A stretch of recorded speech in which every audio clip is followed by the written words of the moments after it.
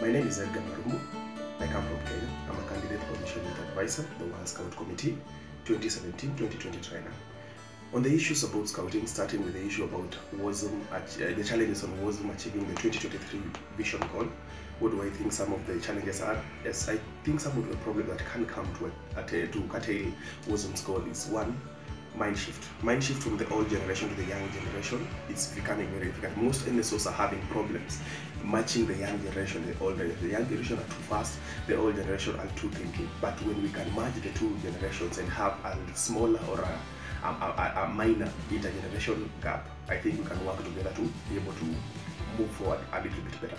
Because when the young generation have exciting new ideas and they are changing these new ideas and they have a new way of doing things, and the old generation are there to help them think, to help guide them through the end, it becomes a little bit better. Now, what are the second one? The second one, I think it's violent extremism.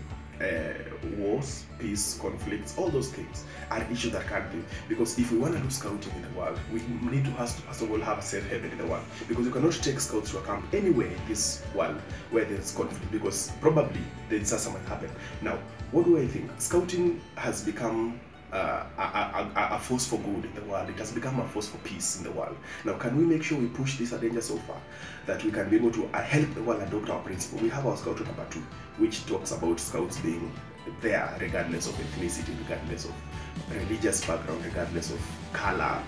I can be black, you can be white, but we can come together because we, we definitely see as the same doctor. We have the same anatomy as humans. Now, what makes you discriminatory? We all pray to one God, we believe that.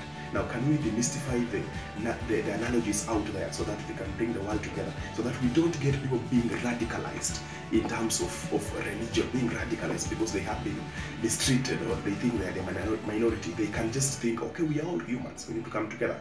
Now, with doing that, we're going to bring a more unified world together, a more a world that is devoid of conflict, a world that can help us move together forward, and it can help WOSM champion its goals because of simply what we are doing. Number three, number three is theoretizing scouting. I think scouting these days has started being theoretized by many NSOs. You know, scouting, the first fundamental of scouting, it's, it's, it's you're supposed to learn by doing. Even BP, he conducted the first experimental camp after putting down theories on what scouting should be like. Now the same thing should happen. You can create theories in your in your in your classes, in, with your class, in the boardrooms, but once they're created, they need to be actualized. Give scouts a chance to be able to practice scouting.